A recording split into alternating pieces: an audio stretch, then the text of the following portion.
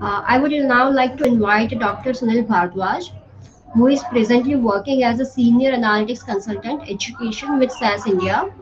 He is certified SAS data scientist. He has a total of 16 years of experience, including 10 years of training and mentoring experience in SAS with all the leading clients in India and abroad. He has conducted mentoring workshops in the area of business forecasting, predictive modeling, big data analytics, artificial intelligence, and machine learning for various corporations in the areas of banking, retail, and manufacturing. He has more than 15 publications in the area of analytics and quantitative techniques in national and international journals. Dr. Sunil Bhardwaj.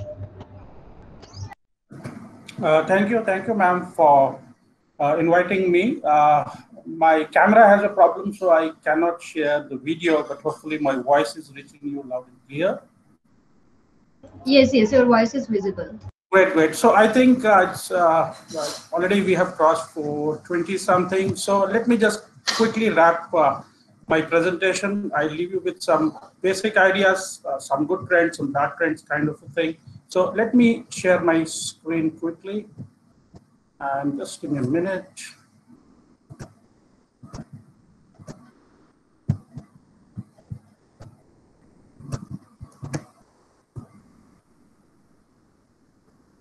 Well, so hopefully my screen is visible. Yes. Okay, Yes, great. So, so let me quickly talk about. See, we have been uh, been used to rather, I would say, looking at these kind of trends, which is whether it is big data or ML or AI, seems to be all exponentially growing. And uh, whether it is Forbes or Accenture, or you can find a great number of reports, all of them indicating, you know, I would say a steep increase or almost an exponential increase in any terms related to, let's say, data science. And you know, uh, one of the key things that was worrying was in between, you know, something like COVID happened, and likewise, you know, the good news is uh, supported by many of the research work or the reports that are already available to be uh, read in the market. For example, one of them, uh, which is related to our area, is future impact of COVID-19 on global big data analytics industry. Of course, you know, they have taken quite a huge sample size. They have done a lot of study. They have created multiple scenarios. But one of, uh, uh, I would say, one of the conservative scenarios they have, at least uh, that is also pretty hopeful. What what they believe is that by the end of 2021, whatever impact might have come onto, uh, let's say, the industry we called big data analytics industry would be gone, and all the trends that we used to see would essentially be uh, the same. There might be sluggishness. There might be, you know, uh, I would say, delay of investments that might happen. Uh, we have seen uh, within our SAS as well uh, that some of, you know, the revenue has to be deferred uh, because the client said, that, you know, we might want to take up a few things a little later while the impact of COVID is minimized. Well, so what it all means is, by the time I think this batch comes out into the job market, all will be good news. So we'll be recovering. So a lot of uh, results that has been, or the trends that we have been seeing, already have been, you know, promising. Whether it's all about the big data investment worldwide happening across uh, the corporations, or let's say the machine learning trends, uh, anything with respect to whether it is hardware, software, or services related to machine learning, all are showing promising trends. And hopefully, so uh, by the end of this year in 2021, we would be again skyrocketing. So, what it all means basically is more jobs for the students. So, that's a good news. And the trends also, you know, I was just looking at some of, you know, the trends. I was doing some kind of you know, trend analysis on the postings of the Indeed, Naukri Monster. So I'll share some of the things that I've got with me. Uh, so th- that's the good part. And again, uh, whether COVID or no COVID, once again, you know, uh, the AI usage and the trends uh, that would be there in terms of AI spending, whether it is Asia Pacific or worldwide. So I could grab on some of uh, these trends which are largely done during this COVID period itself. And again, the projections are quite healthy, and we will see more and more usage of AI and ML going forward. So, so, so these are some of you know the good news I thought you know uh, uh, I would share. And accordingly, you know, uh, when it comes to uh, the job market, so whether it is you know uh, study or any other study, we do have healthy numbers all the while. And in fact, the numbers are as good as as they were, you know, in the pre-COVID times, and all the projections, uh, with few exceptions there and there, they stand to be true. So, so in, in the long run, you know, this area is to stay and is to grow. Even while COVID COVID times, you know, there were a lot of studies done. Uh, for example, what are the best job profiles in the United States in 2020? Uh, this was done uh, somewhere around uh, May or June. June it was published, so it was, must have been done in March May period.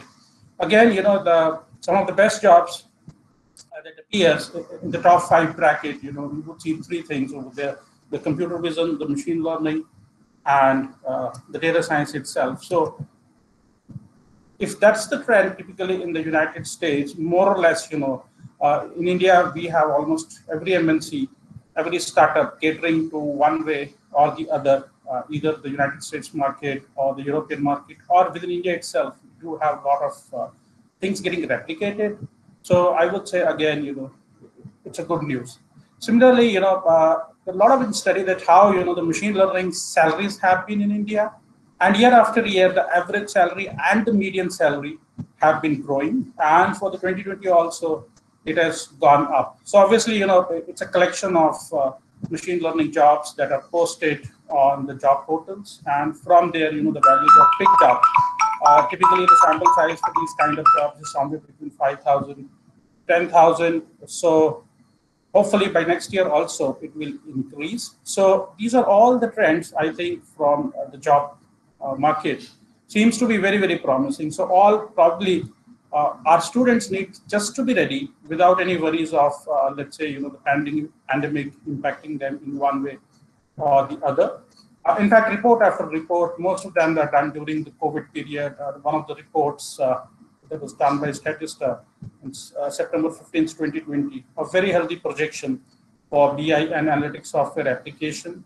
It's growing the usual way, whether the COVID was there or not there. And many, many of those things and uh, some of the things that uh, students were in SAS, or again, there was a study done by the pay scale, and then they have studied and analyzed eight scales. And out of those eight scales, you know, SAS was found to be the number one scale that can give a pay boost. So I'll come to that and a few more things, but uh, we need to understand that, you know, all that data science and job market, India has all the strong reasons, uh, and there are multiple waves in India which supports uh, why there should be so many jobs. So all, all the foreign companies, uh, you can say HSBC, Citibank, Accenture, the list is so huge that they have their analytics centers in India. Indian businesses themselves, obviously, whether it is ICICI to HDFC to Pantaloon, again, the list is so long. They have all started their analytics practices, or in one form or the other. They're gearing up, and the analytics initiatives increase within the Indian businesses. As well as the third way for the jobs, obviously, would be the movement, uh, let's call it BPO to KPO, and within that, a lot of uh, companies like Infosys, Wipro, TCS, Cognizant, which were more like into uh, services maintenance system integrators. They also have a lot of uh, analytics-based projects now being won worldwide. So all of it is good. So I was looking at some of you know the data. So I'll go one by one about these graphs. Again, this is based on uh, uh, certain kind of sample size. Uh, the sample size was collected just before the COVID, so March 2020. After that, we didn't do that. But this is reflective of you know what has been happening in India, where the most of these analytics jobs are. So banking seems to be uh, the largest. And once again, banking should not be confused with, let's say, only financial kind of analytics. It includes all the other things. So, you know, bank has a marketing function, an HR function, and whatnot. Uh, likewise, you know, IT as pharma, again, you know, all the clinical thing, and a lot of uh, uh, drug data analytics or analysis, clinical trial data analysis happening in India. A lot of jobs in pharma, and likewise, every sector has to play its own role, but uh, these uh, graph is based on the Naukri Monster job postings. We analyzed around 2,500 jobs. Uh, since uh, I'm from SAS, these are all SAS related jobs, I would say, but definitely it's data science and analytics, the reflection of that. Uh, results might be skewed in a bit in the sense if we consider more technology. this could be because SAS also has most of its clientele in banking. That's the largest uh, share, BFSI, where SAS is there. So might be the results are slightly uh, might be slightly skewed if you consider all the technologies put together. But nevertheless, that's the picture. Uh, similarly, a few more things uh, let me share. Uh, what kind of you know job roles are there? And, and that's very very you know uh, confusing. Of course, one of the good things is that uh, the variety of jobs exist, even with let's say the analytics or the data science market. The titles they ask for they change from analytics manager to project managers, and then within analyst and consultant there is a variety. just try to consolidate a few things. Uh, the jobs are also available at VP director level, but percentages are left. The use of word data scientist, we saw it has been increasing. So maybe earlier somebody was called senior consultant. They're now simply labeling it as data scientist. So the problem here is these jobs, uh, what we have seen. And again, I, I would uh, uh, suggest students that they have to be very, very careful when they're reading a typical job description or a profile. First of all, I don't know who writes them. They're like they're asking for moon. So if it is technology, they'll write in one line everything R, Python, SAS, C, Java. If they're asking uh, uh, for what they should do, be doing, they would write everything for the entire analytics life cycle, starting from data management. Uh, you should know best of the uh, language of Hadoop and big data or NoSQL. You should know best of the algorithm in the world. You should also apply it, and also you should be able to deliver on the time. And it might be one company calls this as an analyst, other might call it consultant, and yet the same description might be called as data scientist. So unlike, let's say, you know, I've done my CA, I know what a CA does or what an accountant does. Or likewise, if I've done my MBA marketing, I know, okay, what marketing or sales is. This area is hazy and probably would remain hazy. So we should deal with the job descriptions with a bit caution when we are applying. And uh, there is no, I think, if you look at it in some companies, uh, maybe analysts are earning more uh, than a data scientist or probably a VP also. For example, analysts at Google might be earning as good as managers or VP elsewhere. So uh, I would say there are no rules here when it comes to the titles and the job description. So one must be cautious of these when they're applying in the open market. A few other things. Uh, jobs, uh, large, the large concentration, I would say the three analytical hubs, uh, Bangalore, Delhi NCR, almost more than 35%. Delhi NCR, everything put together, Gurgaon, Faridabad, etc. Mumbai, largely uh, so, uh, the, the, third largest job market. Financial analytics to an extent, uh, but again, we have other kinds of jobs in Navi Mumbai, etc. All the other cities, you know, they're in single digit. At least that's that is what our survey found. So maybe if you're looking a full-time job, you might have to shift to either of these uh, three cities, Bangalore, Delhi, NCR, or Mumbai. Generally, uh, different different headings, different, different parts. Still, you know, uh, the uh, larger number of chunk, job, chunk of jobs came from financial analytics and marketing analytics. Uh, risk analytics was somehow listed separately from the financial analytics. So we have just taken up how the categorization happened on those job portals, but nevertheless, uh, supply chain, telecom, retail, healthcare, insurance, they have their own share of uh, job market. But it looks like marketing and finance, these two are, including risk, so let's put it this way, these three will constitute a maximum of uh, jobs. You know, more than 50% of the jobs, or let's say close to 60% of the jobs are from these three areas and rest distributed across. Well, so these are some of the things. And again, you know, uh, when it comes to the job market, see, uh, uh, there's a whole change that is coming up when it comes. So I just, I can give you a small example. So let's say, you know, we are a product company, we sell SAS, we have our own list of clients, etc. obviously. So uh, those are using SAS. So those could be the potential employers. But at the same time, see, we also have to work with companies like TCS, Infosys, as these are our SI partners. We also work, and there are uh, people for data science in KPMG, PwC, as th those are our consulting partners. Similarly, Accenture, Wipro, uh, they are also their IBM, HP are hardware partners, and the, are different job areas. So there, there, could be jobs in the business intelligence, financial intelligence, risk management, and, and many, many more areas are there.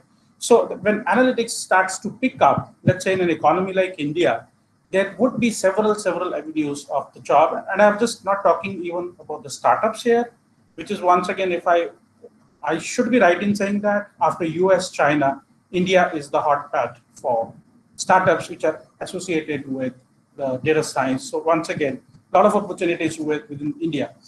And uh, uh, uh, before I close, I'll just give you a few quick bites where you might want to focus and find things interesting.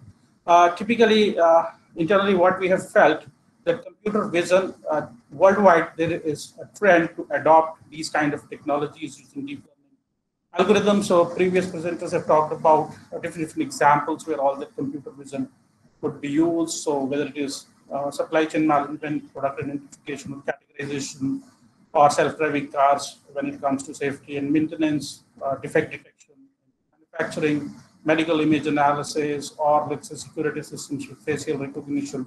A lot of these things are being used. And likewise, you know, there are proven case studies and benefits that how computer vision can uh, help to spot defects, let's say, in a manufacturing setup, and how the efficiencies and time reduction in the process. Likewise, uh, whether it is crop disease detection uh, using satellite imagery. Again, you know, a lot of work uh, has been done within India also. There are startups, there are government initiatives. I believe there are scholarships also available. if you could, you know, deliver and compete and then, you know, showcase your results to uh, government agencies that how, you know, whether it is for forecasting or for crop disease prediction. Already, you know, we have just analyzed the US market, you know, the 4 billion almost loss happens, uh, loss happened just in the orange market because of crop disease. And we're working in the US around uh, providing computer vision solutions there. Similarly, several areas, uh, like uh, cancer detection and all, the previous speaker was talking about that. And here also, uh, I'm not uh, getting the right link, but if you search on internet, you'll get, I think Indian Medical Association is promoting and inviting interested uh, people where they'll provide the financial support and you know uh, they're also financing R&D into this area where the research scholars can work and provide their inputs. Likewise, we have whether it is about you know leak detection and then you know uh, saving and cutting down the cost onto that, the preventive maintenance of pipes, or let's say you know the face recognition, which is much talked about uh, technology for computer vision. So there are lots and lots of interesting avenues where we see a flurry of things happening. You have set suite of tools and technologies. You have people, government, non-government, uh, startups, uh, established companies trying to have their share in this particular growing market. So that, that's a promising area, I would say. So uh, one more example here uh, about you know uh, insurance uh, detection. So one of, this is one of the approaches where you know you can do a photographic analysis of the whole car and then you know you compare it with previous past images and then try to figure it out whether it's a real damage or this is a staged or a fake damage. And then you know you can use that input to see whether overall claim is fraudulent or not. It's a huge market. Uh, losses in insurance because of fraud they run into huge numbers. And again if applications can be created to cut down uh, that will be great. So a lot of these things. And a few things uh, uh, before I close, uh, there are a lot of career myths that happen. And quite often, you know, uh, when we either recruit or talk to the students, uh, these are some bullet points I'll just share. First of all, you know, uh, data science, if you have entered, please remember it won't happen that you stick to one kind of tool, one kind of technology or a technique forever. It's like not like that. You've done the done your CA and end of the story. You don't need to do a second CA or a third CA or, or, or you know don't do a degree after degree. Well, maybe for CAs or that, they're also changing, by the way. But if you're in the field of data science, be ready. There won't be gonna one single job or single uh, technique or tool that would remain forever. You have to be very, very flexible and keep on learning. Once again, whatever you choose, in this area, this is fast changing area. More and new applications keeps on coming up. You call them new applications, new theory, new techniques, uh, new languages, whatever uh, they're not lifelong. You have to be on the toes to keep on learning that. And one more thing, you, you know, typically uh, when we were also young, you know, okay, let's do this course because there is job, let's end up there. Uh, but this kind of an approach in the short term, it might work. But then one should more be rather looking at the basic skill building and adaptability and flexibility to making changes that should be the more focus rather than you know simply doing a course and quickly jumping into uh, a job uh, that, that, that satisfies your financial needs for a time being but then you know uh, it's difficult to sustain it long if you're not interested in that. So, so that's uh, uh, the sum of the idea. Uh, so i'll just simply say follow your interest that is one thing. And again uh, focus on skills, applications, and outcomes rather than you know, focusing more on the technology or, or the technique. So, so it's like you know, uh, if you know astronomy, then only it matters what brand of telescope you have. You have a Hubble Space Telescope or a pocket telescope. Now, all these tools technologies are simply telescopes. If you do not know astronomy, then, then you can't even use a telescope. Maybe you will look into neighbor's house what she is doing, but that's not the good thing. So, so the main idea is the skill and the applications are more important. Tools technologies, uh, they're just a matter of convenience that what tool and technology fit for the purpose. I'm not denying the importance, uh, but the basic criteria, you should be brave enough. Then if you're ready to fight with your enemy, then it matters whether you are going to use a machine gun or a tank or a missile. But if you do not have the basic feeling and courage to defend yourself or attack your enemy, no weapon can help you. So tools and techniques are merely weapons. They do matter provided you have the first thing that is the courage and defend yourself if you talk in uh, the defense terms. So these are things, and I'll leave you with some thoughts. And uh, for example, uh, every curricula that I've seen talks about the three basic skills, the data management, the algorithms, business visualization. But uh, I wanted to throw some ideas at you. For example, uh, managing a project for delivering analytical solutions. Uh, so project management is yet another. How to communicate, uh, previous uh, speakers have talked about how to communicate your findings to non-analytical people. How to do that. Leadership. These three, four skills, uh, essentially I would request the school or college to maybe have some courses around them or some experience given to the students that might help. And finally, every industry uses uh, data science in one way or the other. There are different shades, different degrees of usage. So one must be open uh, to work across different industries. It's not that, you know, uh, why agriculture, you know, nobody uses that. It's not the case. In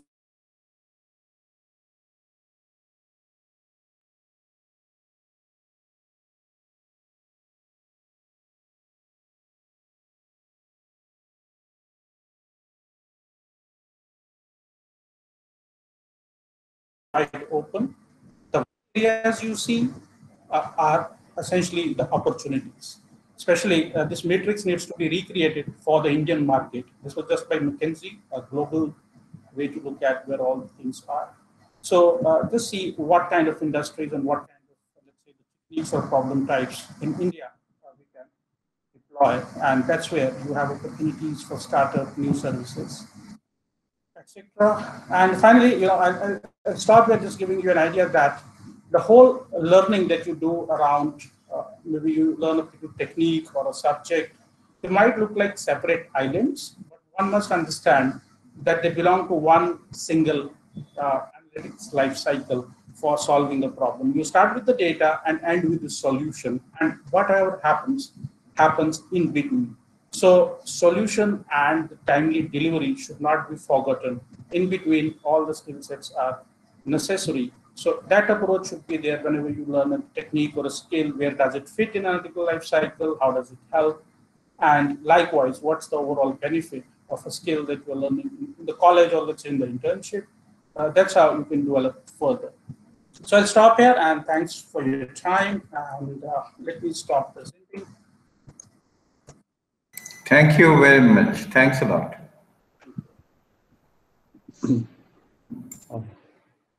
Sneha? Hello. Yeah. Thank you, Dr. Sunil. Uh, now I would like to move on and uh, I would like to invite Mr. Subhanshu Gupta, who is working at Citibank Singapore. Uh, he works as a machine learning engineer at Citibank Singapore in its advanced analytics team. He pursued his master's in data science with specialization in consumer analytics from National University of Singapore.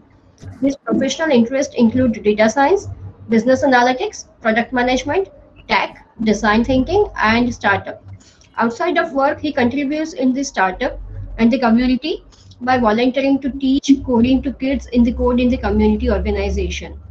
He also mentors students and early age professionals in the guidance related to career progression university application for master's. Mr. Subhanshu Gupta. Hi, thanks Sneha for the introduction.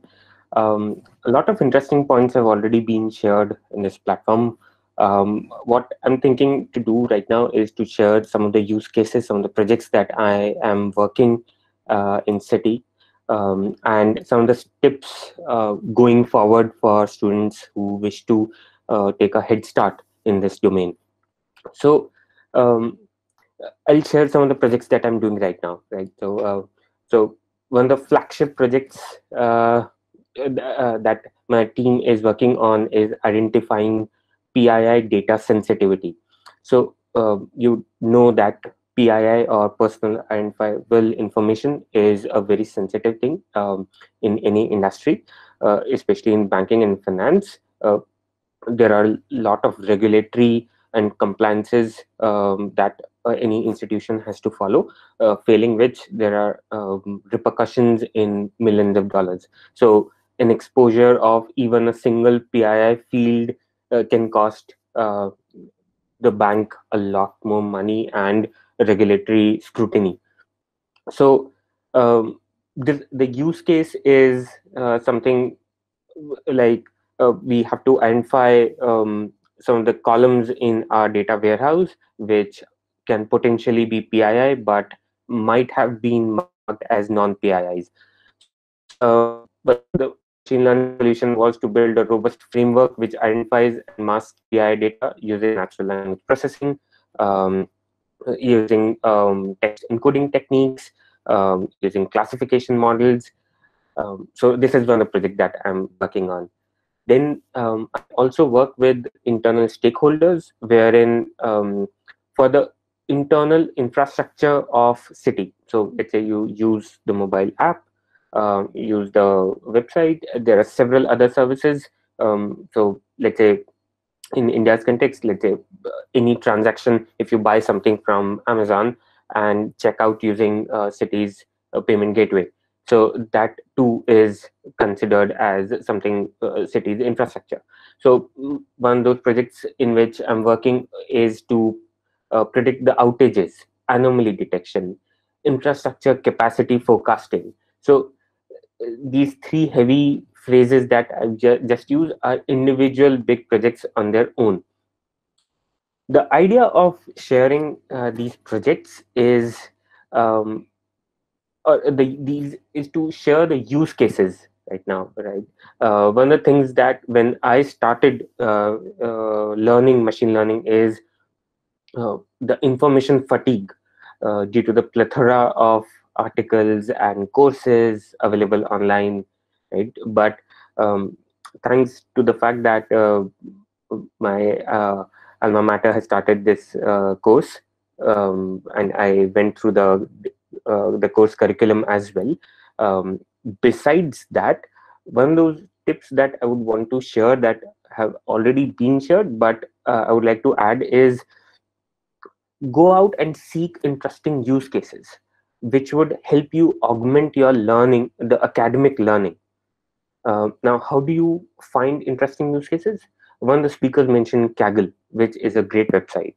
Um, other suggestion was to participate in hackathons. Uh, both fantastic uh, suggestions. One of the other avenue that has helped me personally uh, to grow a lot is joining meetup groups. So there's a website called Meetup. Um, I, I, can share with you one of the group called uh, DataKind. So it's an international group that collaborates with global NGOs and help them solve their pain points. So uh, use cases such as uh, predicting when the water is going to dry out in ground wells in Tanzania, or detecting diseases in crops using satellite imagery, um, using computer vision. Um, right. My point here is um, once you find a use case uh, which piques your interest, uh, there are ample opportunities for there you uh, for out there for you to pursue and hone your skills. Um, the beautiful aspect of this is that you can pick up a project at any stage of its life cycle. Um, you can learn how a project is ideated, how do you visualize the data. Uh, one of the most important aspect is the art of storytelling, uh, which a lot of you, uh, the lot of industry practitioners uh, and the speakers who are here have mentioned uh, in their talks. And so these things you'll realize when you go out in the industry that you have to convince uh, your stakeholders. You have to convey what you're doing. A lot of the time, the stakeholders um, don't understand um, uh, the. So let's say your logistic regression output or um, uh, deep learning models output they wouldn't understand and it's very natural but when you convey your results when you convey your insights via uh, great visualizations um, great dashboards uh, that's when you are uh, conveying a story of uh, what's the pain point how your analysis solves that pain point and what are you doing to uh, solve that pain point and how your insights will help your client or your company to solve that pain point. So the these are very important aspects uh, according to me um, that has helped me personally uh, grow in my career. And yeah uh, i would like to uh, i won't take much of your time uh, except the fact that um, the foundation of da has so I was in a batch of 2011 to 15, and I then went on to pursue my master's after working in India for about three years in software engineering domain. Uh, um, did uh, uh, some of the work in uh, research in big data, and then eventually all of this, the foundation helped me in uh, exploring the uh, field of machine learning and data science, and um, the exposure that DA gave me. Um, has been super instrumental. Uh, would like to would be glad to take any questions from the students later on as well. Thank you. Thank you. Thank you, Subhanshu. Uh, so now we have our valued alumni, Vaibhavi Desai. Uh, she is working at Gojek, Singapore. Vaibhavi describes herself as an explorer, learner, and leader. She currently runs the data and D&I program across Southeast Asia. Previously, she was worked, uh, working at Google focusing uh, on scaling a computer science and machine learning education program and growing women in tech communities across India and Southeast Asia. Outside of her work, Vaibhavi is a global shaper at the Singapore hub of the World Economic Forum community. She focuses on initiatives around enabling domestic helpers and women in the workforce across Singapore. Vaibhavi is also a professional Kathak dancer, learning and performing arts with uh, Apsaras Arts Academy in Singapore. Vaibhavi. Um, thank you so much for the introduction, uh, Ms. Sneha. Uh, hi, everyone. Uh, thanks, uh, thanks for the invitation uh, to be present here. It's always a great pleasure when it comes to uh, talking back to the students of DICT. Um, I am from the batch 2011 to 15 BTech ICT. Uh, and yeah, have been spending a good amount of time in India and Singapore after I graduated. Uh, so I'm again uh, going to keep it brief so that we have more time for questions. I really want to hear from the students as well. Uh, and I'm going to share a few things uh, that I have been working on and maybe also provide some suggestions to the students uh, who are present here. Uh, so my journey with machine learning, data science uh, started again uh, while I was in BTech. Uh, we were given opportunities uh, to take subjects that was offered to MTech. So I, I was lucky to be a part of the subjects like information retrieval, and I had an early exposure. Uh, with the help of the professors at DICT to basically publish research papers and present at the national conferences across India as well. Uh, post that i spent a good amount of time uh, as you heard in my introduction uh, building and scaling programs around machine learning and computer science education. So my role was basically uh, how do i put together a curriculum where uh, it blends the theory into practice by providing the tools and technology that google has to offer. Uh, so i ran programs around across 200 uh, colleges across india and scaled it to about 10,000 students. So I really have, I am passionate about working with students and bringing ML machine learning education program to the students. Um, post that, I was also running machine learning boot camps for Google, where we focused on beyond students, we focused on enterprises um, and the startups across Southeast Asia and other regions. So that gave me an exposure to understand uh, what kind of skills do people in industry need, even after spending a few years in the industry. Uh, what kind of reskilling or upskilling that we need to do once people are into the workforce and basically trying to change the role or change the domain that they are working on right now um, i work at gojek uh, so gojek uh, is an indonesian company uh, we have a presence across southeast asia uh, gojek is indonesia's first and fastest growing unicorn. Uh, recently become a decacorn uh, valued for over 10 billion. Uh, it's a very unique uh, application. I'm just spending some more time to explain about this application because it's not there in the indian market. Uh, it's worth knowing about it.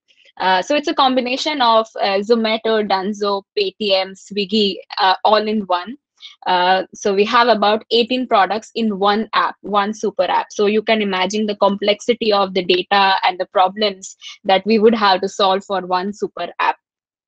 Um, the products would range uh, from transport to ordering the food, uh, commute, uh, digital payments, shopping, hyperlocal delivery, um, massages, uh, anything and everything that you can think about that removes the friction from your daily lives.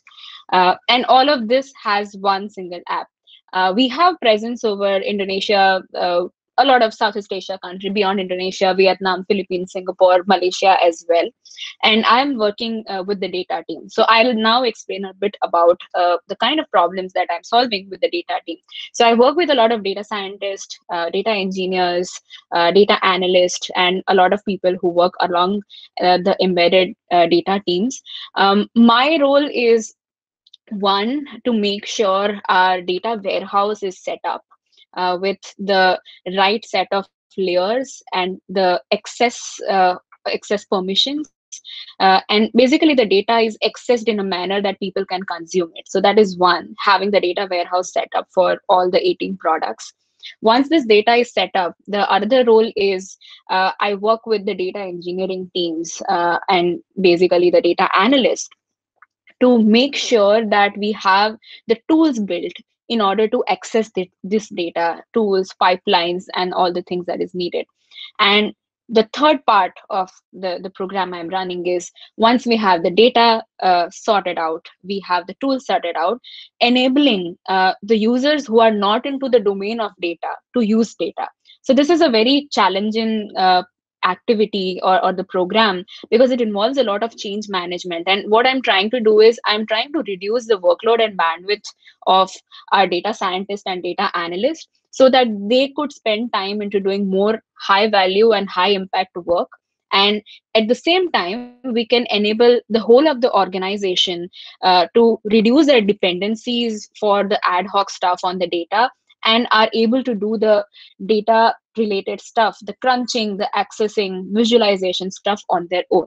So it's a very unique change management where my role basically uh, involves working a lot with the data team but beyond them also with the product engineering research and the business teams so I'll just talk about a few use cases. Uh, Subhanshu talk about use cases. I also heard a lot of other speakers talking about it. So I'm just going to give you a few use cases, which could give you uh, an idea what kind of problems uh, we are working at uh, at Gojek so this is uh, as i said uh, a mixture of a lot of apps super app kind of a thing so one of the important problems that our data science teams have been working on is cross selling the products uh, and basically coming up with the matchmaking algorithm. Uh, so it is very important that when someone is using the food product, uh, you grab their attention to also book the transport. And if someone is doing the transport, you also grab their attention to book a massage. So how do you give those kind of uh, recommendations and make sure that you are cross selling your own products on one platform? So this is one uh, one problem that I've seen people working up on. Another very interesting problem is um, so gojek when when we started we started as a ride hailing for two wheelers like the four wheelers come quite later on. So with the two wheelers we have a screen attached on the back of the two wheelers in indonesia uh, which is used to do the ads. So another very interesting problem that our data science team was trying to solve was how many impressions uh, do they get on the ads that are being basically displayed over there on the screen and this is important because we need to get more business we need to get more ads and we need to show the impact of uh, the impressions uh, that is being spread using these screens. So there was a lot of image processing and modeling involved uh, in this problem as well and a very interesting uh, classic data science problem. Um, other than that, uh, I think uh, you all will be able to relate um, the routing algorithms, uh, finding out the fake rides, uh, and basically detecting the fake users. Those all are also um, kind of interesting problems. A very interesting thing and a very important thing we are focusing this year is personalization. Um, as we all know, with all of these uh, hyper local app, personalization is the key to make sure that the user sticks with your app and do not moves to the other app because they find interesting suggestions there. So recommendations personalizations uh, on each and every page of the application is also something that our data science teams are working on. So yeah i think these are just some some insights. Um, we have a big office in bangalore. Uh, bangalore is the main tech office for Gojek. So you might have come across it uh, uh, if, if your colleagues or friends have been working there. Uh, but yeah, uh, it's, it's just uh, that we don't have the product, but we do have a big office in Bangalore. Uh, I'll, I'll now come to the last part of my session, which is just want to give a couple of suggestions on things you can do. I think the speakers here have included really good recommendations on things you can do while searching the jobs, things you can do while uh, studying the curriculum uh, and how can you explore the extra new tools and libraries. I'm just going to add a few more things there. Uh, echoing a lot of speakers play with data as much as you can. Play with the data that is available and accessible. I remember while we were starting up in this domain, we did not have so much data available uh, that you have right now after I would say like five to six years. Uh, we've seen the government opening up their data. We've seen uh, companies like Google uh, opening up the data of the videos, the images, the text, whatever you need. Uh, Kaggle obviously is there as a big platform as well.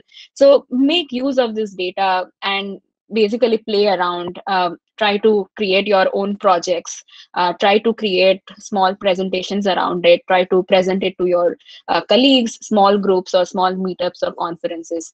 Uh, so i used to manage the community programs at google previously and i i, I felt i was uh, benefited a lot out of the community experience. Uh, ahmedabad gandhinagar uh, is a great place uh, when it comes to the tech communities. In the past few years I, I believe we have uh, pretty much caught up uh, uh, in the pace along with the metro cities as well. Um, like Ahmedabad is considered as one of the good tech cities so pick up uh, pick up the communities that you see around. There are a lot of machine learning communities a lot of data science communities. Um, just go uh, and hear what people have to say. Uh, that is a great place for you to network. Uh, a lot of times you will end up finding good jobs and good opportunities to work on projects out of such communities and meetups. Uh, so make the best use of it. Uh, if you feel comfortable uh, with these communities structure then i would say go a step beyond and uh, try to give a, a, talk or a session uh, at such community sessions uh, or the and going forward the conferences as well. Uh, because a lot of times like you will be studying definitely. You will be applying for jobs but what kind of things that make you stand apart is what additional things that you are doing whether you're working on a research project on your own or whether you're public speaking at such conferences the network uh, I, I, repeat again and again that the network that these things bring along and the connections uh, that they will bring along would be of enormous help. Uh, I, remember while i was at dict as well my community was restricted to people in da and maybe going forward I, I did interact with a few people as a part of google summer of code where we were doing the open source work and so on and so forth but i couldn't meet them because we were all situated across the globe. But you can go beyond your college and in the same city meet the like-minded professionals uh, who are working in top-notch companies and machine learning data science roles. Uh, it, it, would be really nice to get that exposure. Um, so yeah uh, i think that's about it. A very last point and uh, very interesting uh, because I, I, work a lot on diversity and inclusion as well.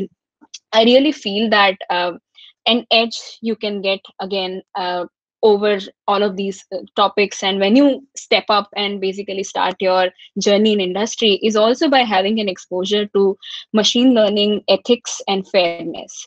Uh, as much as we are all into uh, building great data models and the recommendation systems and the prediction engines it is important that our models are not biased. Our models are fair enough uh, and they are not missing out on any important use cases. Uh, so there's a lot of literature out there around machine learning uh, fairness. Google has a lot of resources around that as well.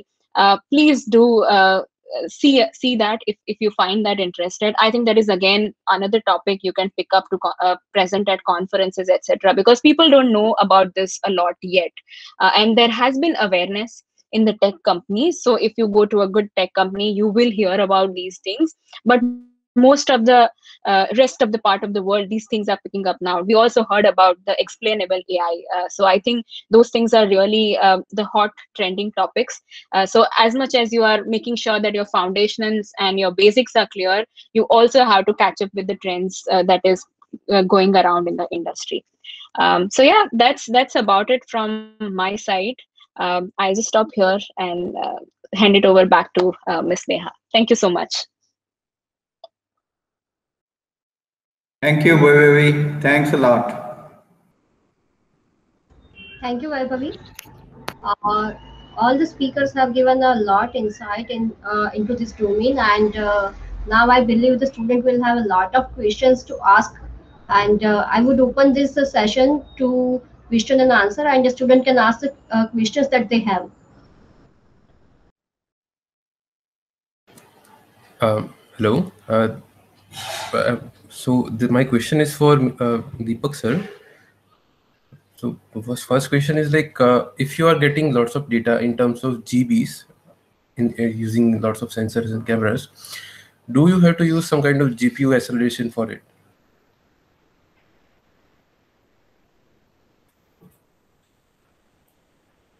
Hello. Yes, yes, sir. Uh, yes.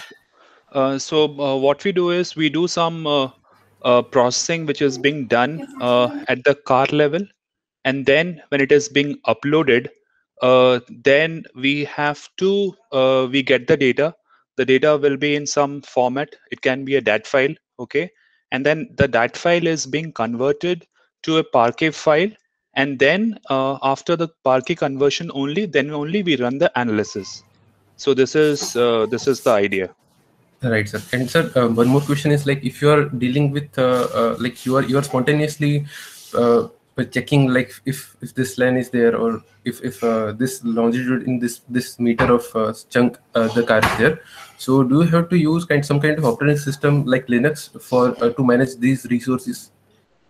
Uh, no, so we have our own uh, measurement system where all uh, all our sensors, uh, sensor data, every uh, operation, every operation, I mean uh, the the embedded device, the embedded the ECU, which is there. So there can be hundreds of ECUs. So all are being interconnected, and there is a measurement device. And so the the way we log the data, it's through this measurement device. Okay, so.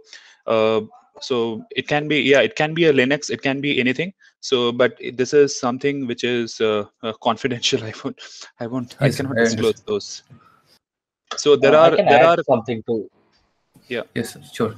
yeah so there Yeah. are hundreds of ecus okay so and all all of these data are getting uh, uh means uh, they are all interconnected okay? And uh, when you see all these operations uh, so all these ecus uh, ecus are allowed to operate in some certain millisecond okay? Even um, that that millisecond can be 20 can be 40 so all these operations should happen within that. And if in that operation if something is is not is not right then we log that. So that is one thing. Yeah So uh, I just want to add something on top of it because uh, of my experience with the uh, autonomous industry as well.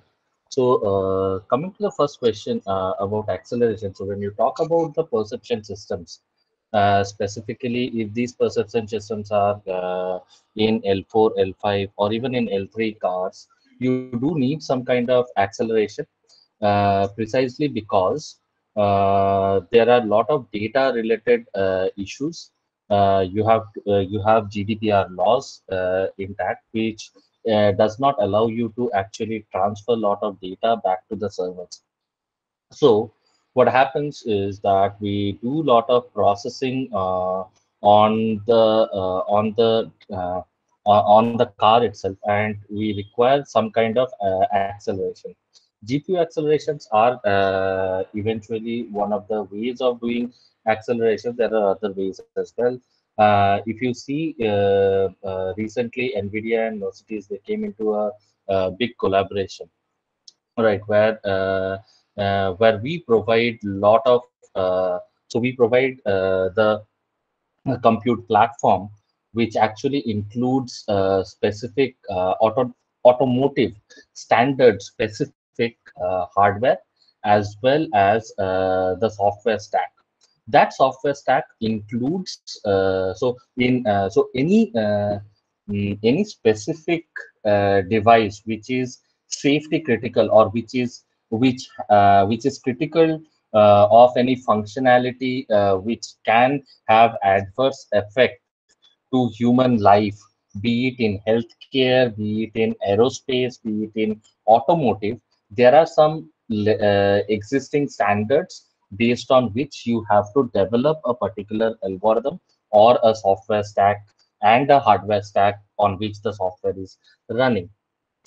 So be uh, so in automotive uh, standard it is called as iso 26262 and on top of it uh, there is something called as SEooC which is uh, uh, um, a safety element out of context which gives us certain rules or constraints under which we need to develop these software one such uh, constraint uh, is applied on uh, the operating system and the hypervisor which is managing uh, that on the hardware as well and uh, uh, to my knowledge one of the operating system which actually has those capabilities in or has those restrictions imbibed in in them is an operating system called as QNX. Linux, unfortunately, right now there is no ASIL compliance of Linux available, but there are a lot of uh, uh, mm, Linux-based uh, operating system like Yocto. Uh, uh, then uh, there are different communities who are trying to bring up a newer, newer, and newer versions of Linux based operating system, which are automotive compliant.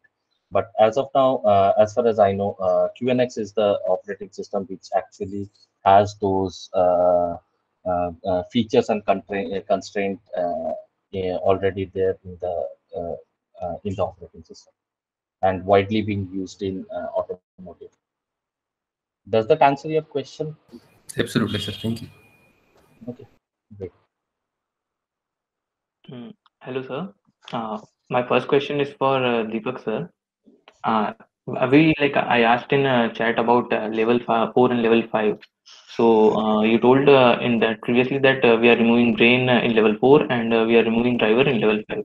So basically, uh, you told again that in level five we don't have any steering wheel. So um, what my understanding got to up to that point is that we have both auto and manual supported in level four, and there is only autopilot in level five. So is that correct assumption? Okay, so you're talking about uh, this autopilot. This Tesla autopilot is uh, level two. And if you want to take the difference between level four and level five, uh, level four will be specific to a city and it will be specific to uh, specific to uh, certain highway. It will be from A to B. You cannot go from A to C. It will be uh, between the two cities connecting to highways so it's meant only for the driverless taxis okay uh, which is uh, currently running in some some of the us cities. And level 5 is uh, driver is out of the context. And uh, one question which uh, uh, which someone asked uh, about this uh, so about the perception system uh, i would say uh, what whatever processing is being done is being done on the car okay. It's not that the raw data goes into the cloud all the operations are being done and if there is a log then that log is also being transferred. If there is an error log or if uh, anything uh, which is erroneous, then that log data is also uh, getting into the cloud. So this is the way uh, we do it. Okay, and uh, yeah. Anything else? Okay, thank you. Uh, my second question is for Nagendra sir and Rahul sir. Like when I look at my whole academic career, I can see a huge gap between this uh, field of data science and uh, marketing and sales. And uh, according to me, uh, like as I see the st- uh, stage of market and uh, corporate world, I can see that these two fields are like closely interconnected. So is there a, is there is another layer of communication between it, or like we will be taught some marketing concept as well while we are in in, in, in industries?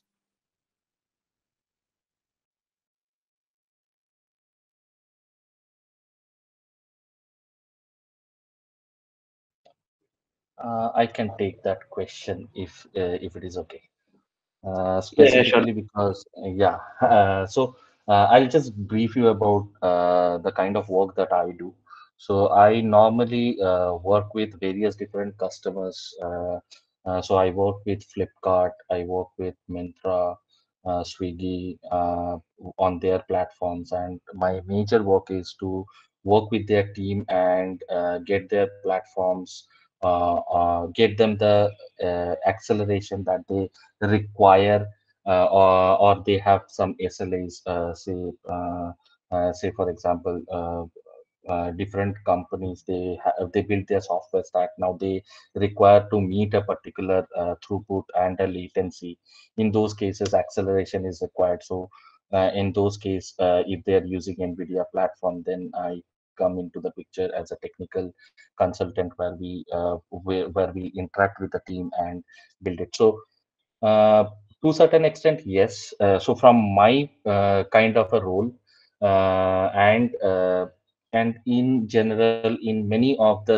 uh, roles which are similar where we often do uh, interaction with different type of customers you do not need to know the uh, know too, mu- uh, too much of marketing stuffs and all but you do need to uh, have uh, have a good communication uh, where you can actually explain the uh, customers about your solutions why you are coming up with the with that solution what are the benefits what are the uh, flaws uh, and how you can make or how you can contribute in making the things a be- uh, uh, uh, things better uh, given uh, a particular uh, given a particular uh, problem statement right?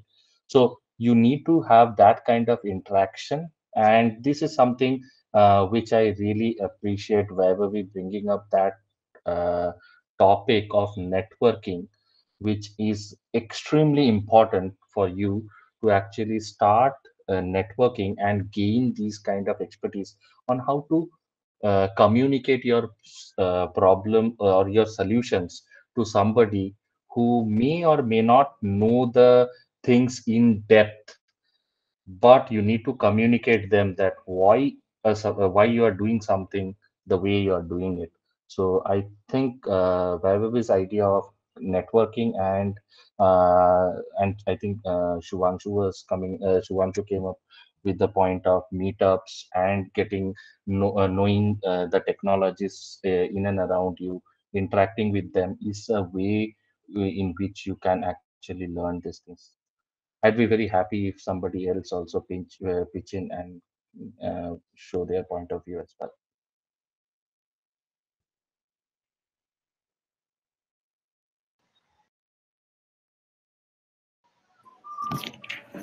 Okay, so any other questions from other, uh, some other questions from students? Uh, yes, uh, I have a general question.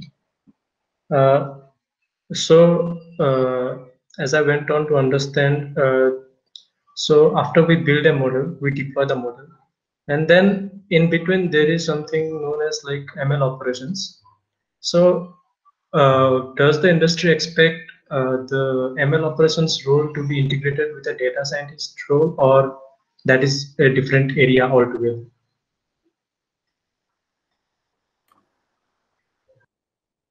Hi, uh, I can take that question up. So, Yeah, um, please. uh, as a part of my role, uh, so uh, these days roles are getting uh, much more refined, uh, right? So um, there are uh, PhDs who do core data science modeling work, and glad that you brought this question up. Right? Uh, then there are uh, machine learning engineers, the practitioners.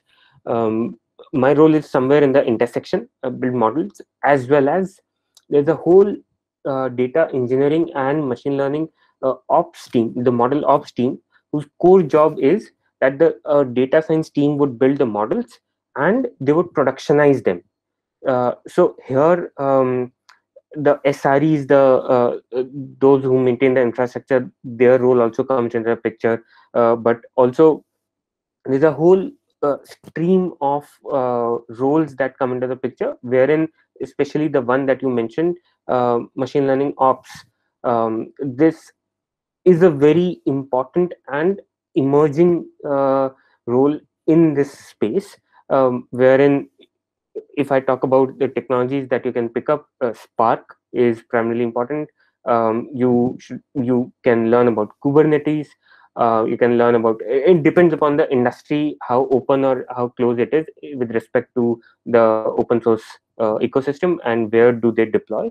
Uh, but in general uh, this is a very good and emerging area wherein it's a good amalgam of um, machine learning data engineering and software engineering right? So uh, go for it. If uh, this uh, interests you um, yeah yeah. Any any counter question on what i said or if what i said makes sense to you? So it's a big area like it's not a small area anymore. Yeah, yeah, definitely. Uh, there are huge teams whose core job is to productionize the models maintain those models uh, build streams that so you know um, there are different kind of models. So let's say batch uh, models then the real time models.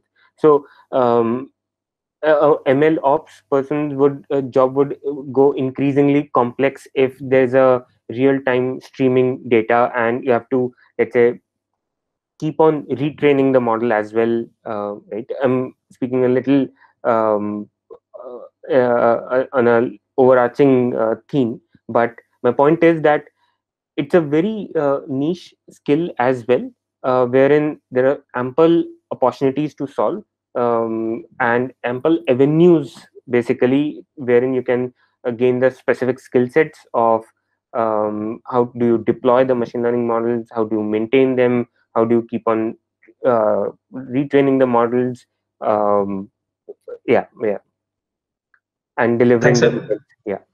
Yeah that answers. Thanks a lot thank you.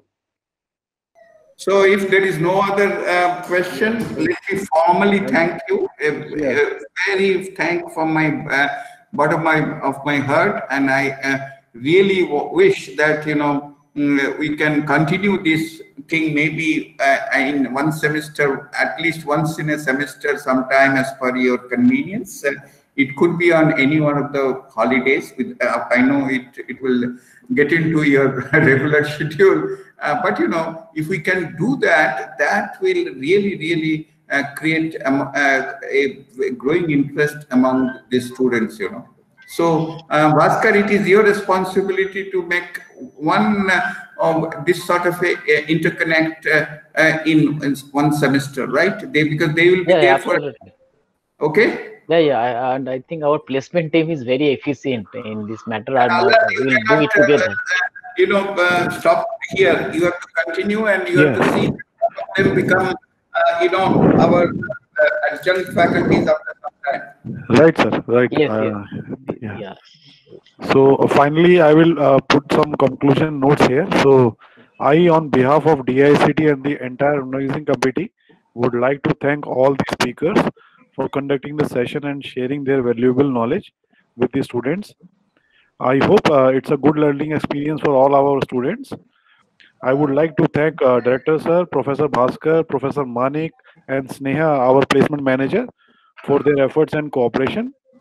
Without them, it would it would not have been possible to successfully complete this workshop. And uh, along with this, we expect a long-term association with our guest in near future. So thanks everyone for participating in this workshop and making it successful. Thank you so much. Thanks a lot and see you soon. Thank you. Okay, Thank you. Thank you so much. Bye. Thank you your so number much. Thank you. me. You sometime.